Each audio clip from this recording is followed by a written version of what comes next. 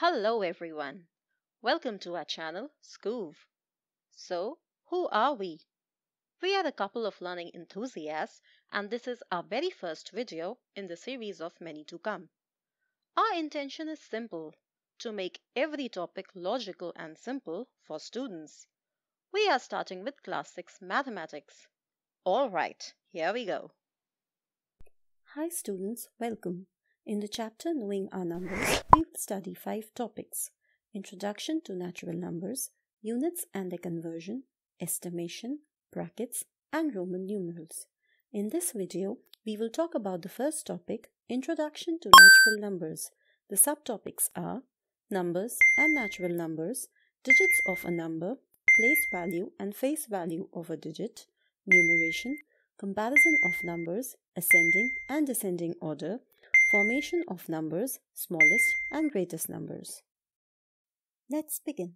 What are numbers actually? We need something to answer the question how many. And when we answer the question how many, we are doing something which is called counting.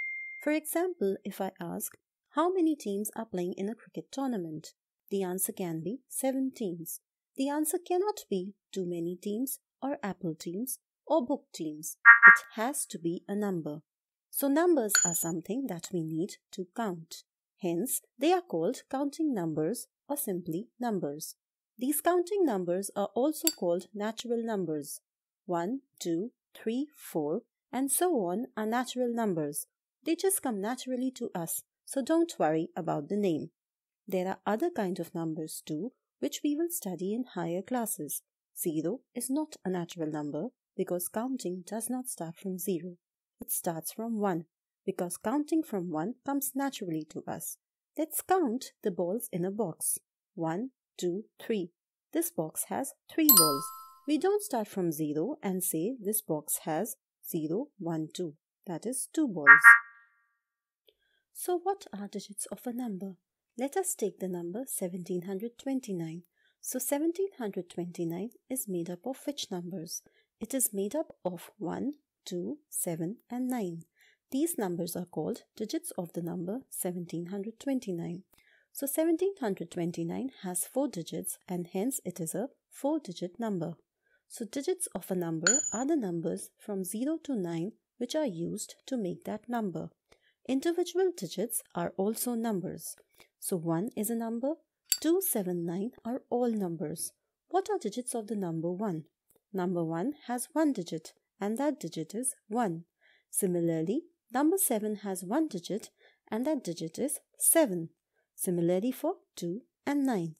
In fact, all numbers can be made by numbers 0, 1, 2, 3, 4, 5, 6, 7, 8 and 9. Isn't that fascinating? Let's try and make a number using numbers 10, 11 and 15. For example, let's make a number 101115. Well, we can see that this number is made up of three numbers or digits 0, 1 and 5. So we need these 10 numbers only to make any number. Now let us try and understand place value and face value. Remember, place and face values belong to a digit of a number. Every digit has a place value and a face value. So let us take the number 1729. Face value is nothing but the digit itself. Face value of 1 is 1, 7 is 7, 2 is 2, and 9 is 9. What about place value? As the name suggests, place value is the value of the digit according to its place in the number. So which place does 7 occupy? If we start from left, it is at second place. And if we start from right, it is at third place.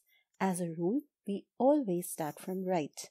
And starting from right to left, first place is called ones, second place is called tens, third is hundreds, fourth place is thousands.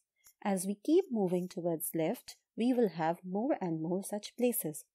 But why are they called ones, tens, hundreds, etc.? Answer is simple. Remove the digit and place 1 there. Then put as many zeros as you can till the rightmost digit. So remove 9, place 1. You cannot put any zero because 9 itself is the rightmost digit. Now remove 2, place 1 and you can put 1 zero. Similarly, repeat it for 7 and 9. So place of the digit 9 is ones, 2 is tens, 7 is hundreds, and 1 is thousands. So now, what is place value? Multiply the digit with its place. So place value of 7 is equal to 7 into place of 7. That is 7 into 100, which is equal to 700. Similarly, we can write place values of other digits. Next, we move on to numeration. When we write a number as a number, it is called a numeral. However, writing a number in words is called numeration. There are two kinds of numeration Indian system of numeration and international system of numeration. Let us take a number which has 10 digits 1, 2, 3, 4, 5, 6, 7, 8, 9, 0. We know that 0 is at ones place, 9 is at tens, 8 at hundreds, and 7 at thousands. But there are 6 more digits. In Indian system, after thousand comes 10,000, after that lakh, then 10 lakh, crore, 10 crore, 100 crore. International system is the same as Indian system till 10,000. Then comes 100,000, then million, 10 million, 100 million, then billion, 10 billion, and so on. Difference between the two systems is that in Indian system there is a different name after every two digits and in international there is a different name after every three digits. You can see that 10 lakh is equal to 1 million.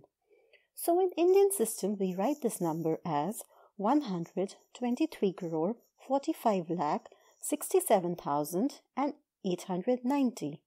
In international system, we write this number as 1 billion 234 million 567,890. Why do we not write 100 crore, 20 crore, 3 crore, or 40 lakh, 5 lakh? Instead, we write 123 crore and 45 lakh. Actually, it is easier that we add the numbers of same type.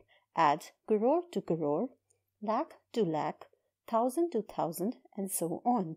Similarly, we have added million to million. It is very difficult to read this number. It will be easy if we can differentiate thousand, lakh, and crore.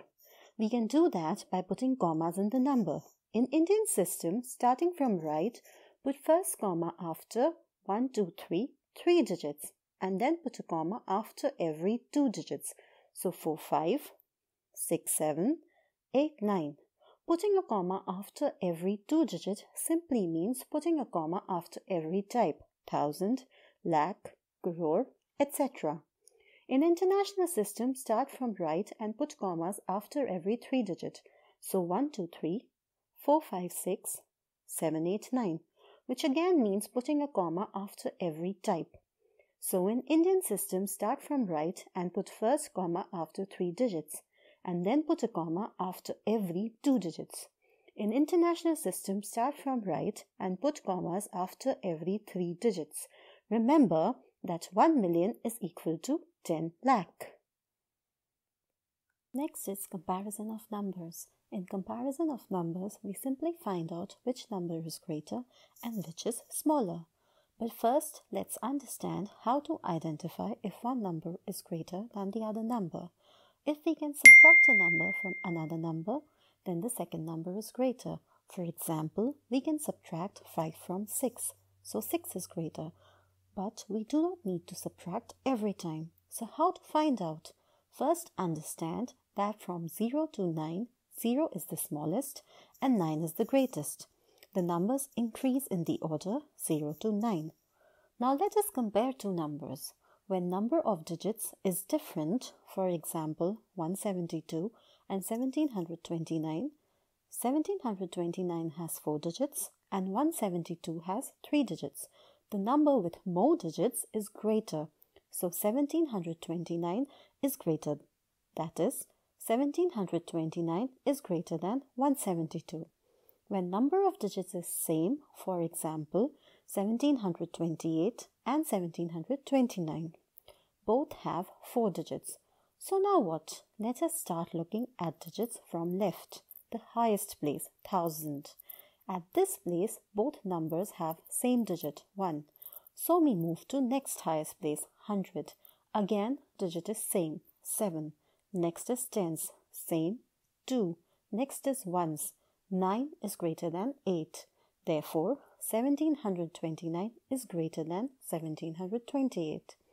This is the symbol for greater than. We can also write 1728 is smaller than 1729. This is the symbol for smaller than. The symbol gets bigger towards the opening and hence opening faces the greater number. So, first look if the number of digits is different. If it is different, more the digits, greater the number. If it is same, look at the highest place. Number with greater digit at the highest place is greater.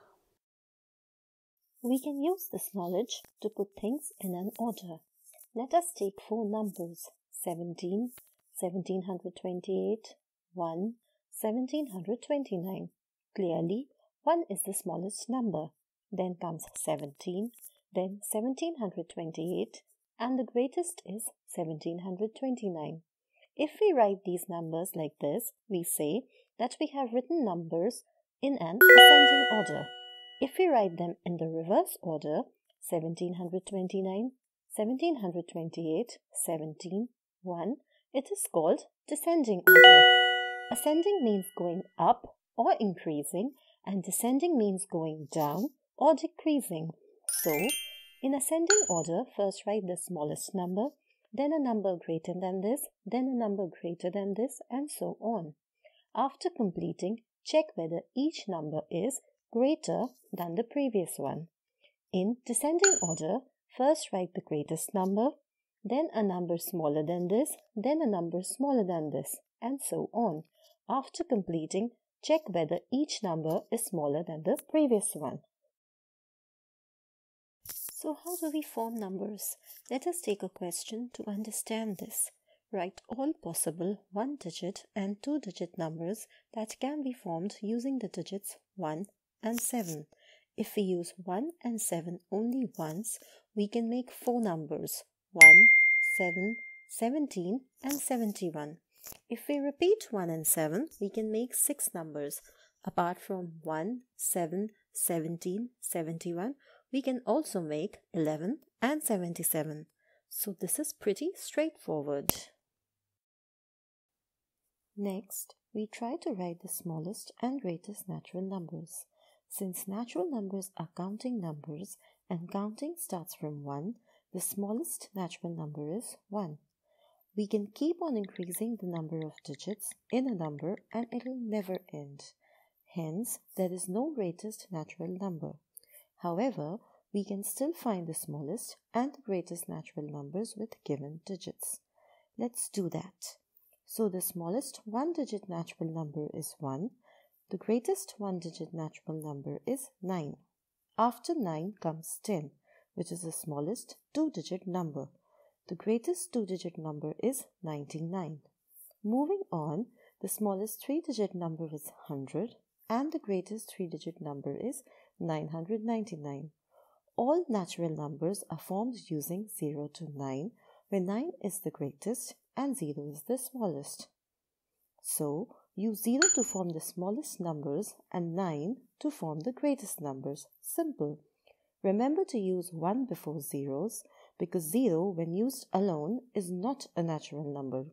So continuing with this pattern, we can write the smallest and the greatest numbers using more digits you can see that 9 plus 1 is equal to 10, 99 plus 1 is equal to 100, 999 plus 1 is equal to 1000, and so on. This means that the smallest number of a digit is equal to greatest number of previous digit plus 1. Let us take an example. Write the greatest and the smallest four digit number using the digits 1, 7, 2, 9 without repeating any digit. Since we have to write a four digit number, there are four places. Rule is simple. For the greatest number, put the greatest digit at the highest place, that is the first place from left, and write the digits in descending order. So put 9 at the highest place, then 7, then 2, then 1. So the greatest number is 9721. For the smallest number, put the smallest digit at the highest place and write the digits in ascending order. So put 1 at the highest place, then 2, 7 and 9. So the smallest number is 1279. This was all about the first topic. Do give us a chance to improve by providing your feedback in the comments. Please do like and subscribe. We will be coming up with the next topic shortly. Till then, goodbye.